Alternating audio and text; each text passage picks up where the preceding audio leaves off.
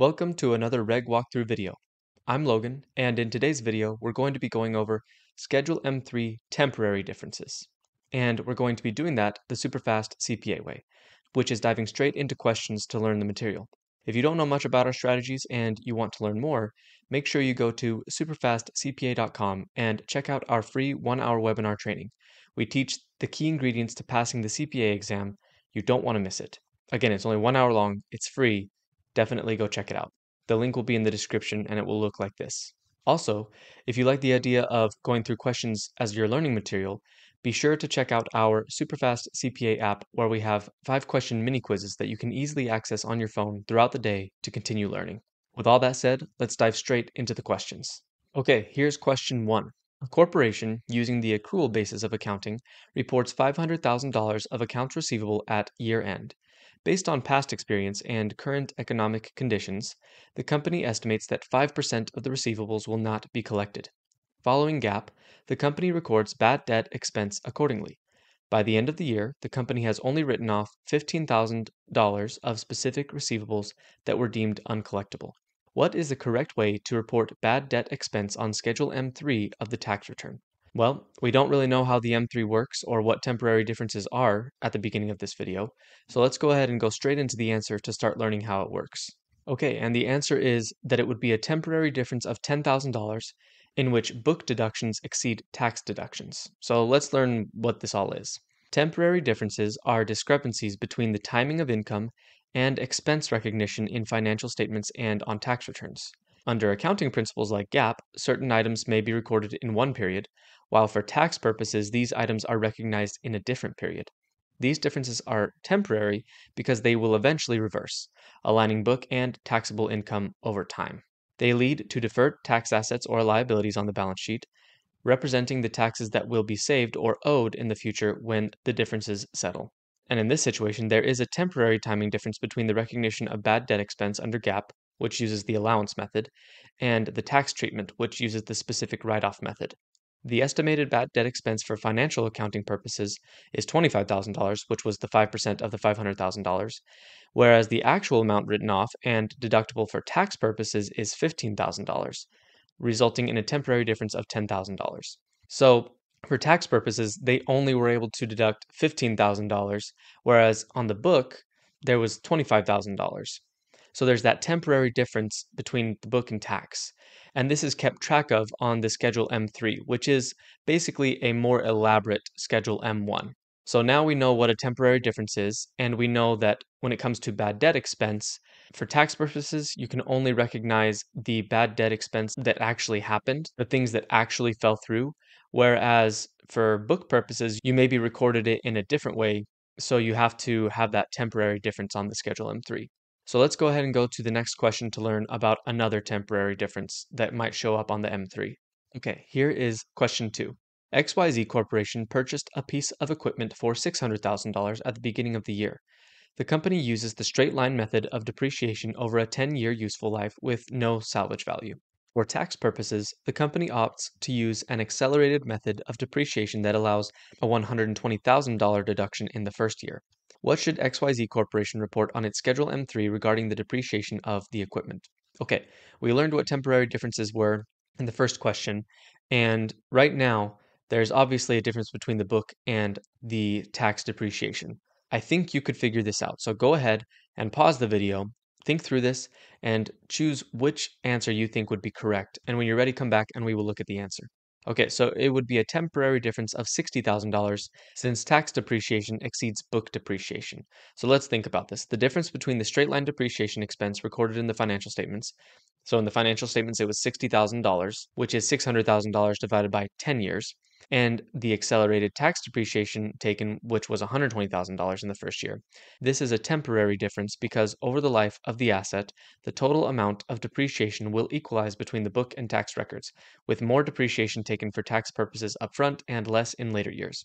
So, this is something important to think about. In the end, tax depreciation and book depreciation end up in the same place. They end up with the same amount of depreciation taken. However, different amounts of depreciation can be taken in different years. So that's where that temporary difference comes in. And it's temporary because, again, in the end, the full depreciation will eventually be taken. And in this case, since $60,000 was on book, but $120,000 was on tax, that's why there's that $60,000 temporary difference where there was more depreciation on the tax return than on the book. Okay, let's go ahead and go to the next question. Here's question three. In its financial statements for the year ended December 31, year one, ABC Manufacturing Company estimated future warranty obligations of $50,000 for products sold during the year. This estimate was based on historical data and industry standards.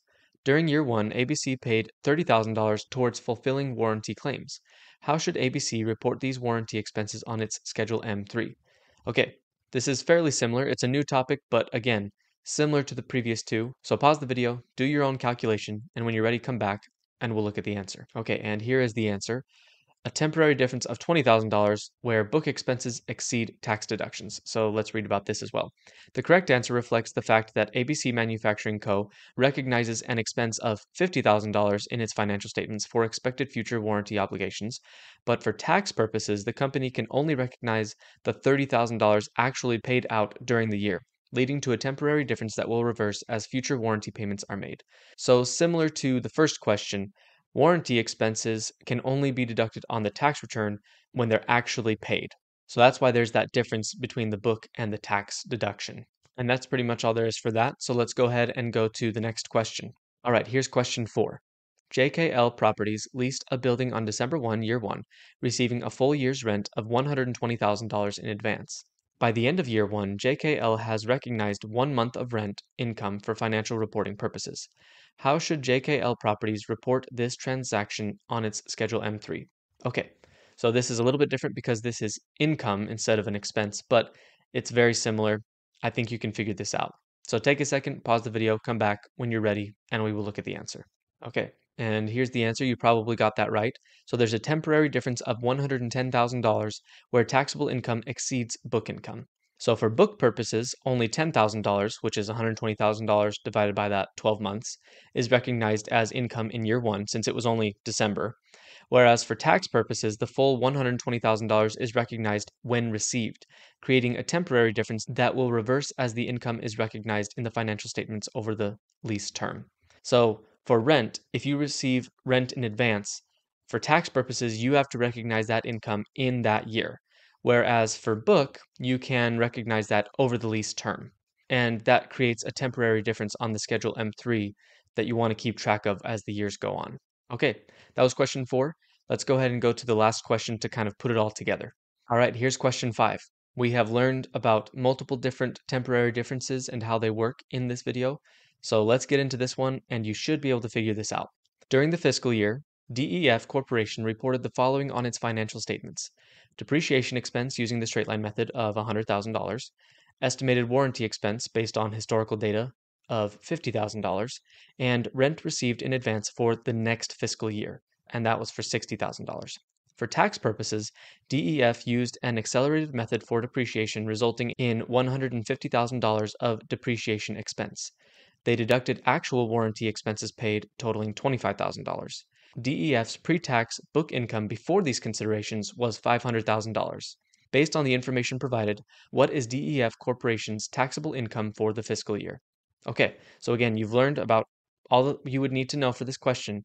So pause the video, figure out the calculation and what the taxable income would be, and when you're ready, come back and we will look at the answer. Okay, here is the answer $535,000 of taxable income.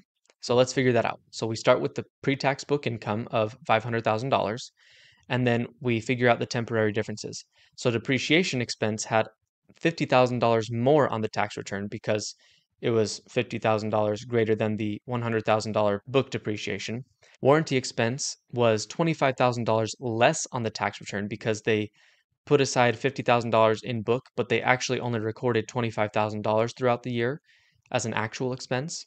And then they received $60,000 in advance, but it was for the next fiscal year. So they're not even considering that income until the next fiscal year. But on the tax return, all $60,000 of that is recognized. So let's go do the calculation. $500,000 pre tax income, you subtract the additional depreciation on the tax return. So that brings us to $450,000.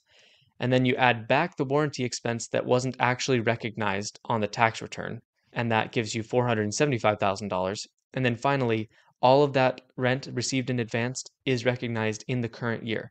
So you add that to the taxable income as well, giving you $535,000 of taxable income. And that's the end of those questions.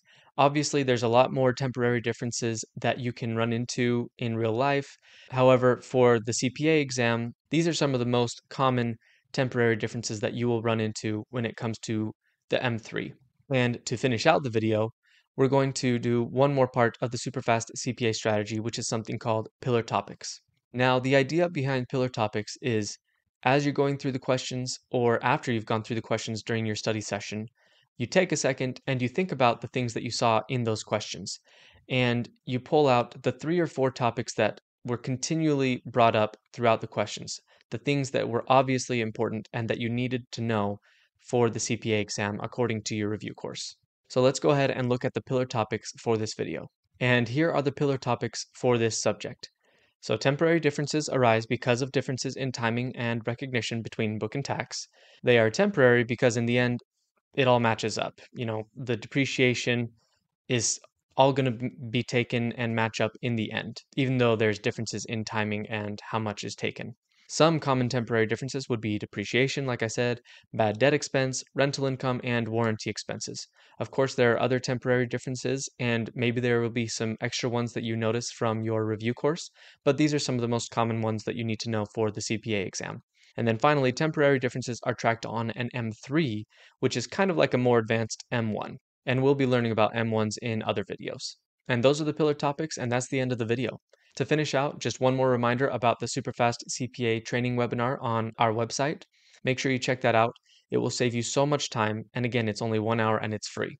Also, if you liked going through the multiple choice questions as your main learning material, make sure you check out our Superfast CPA app that has five question mini quizzes that you can easily access throughout your day to continue practicing. Thanks for watching. If you liked this video, make sure to like and leave a comment on it on YouTube. I hope this was helpful, and I will see you in the next video.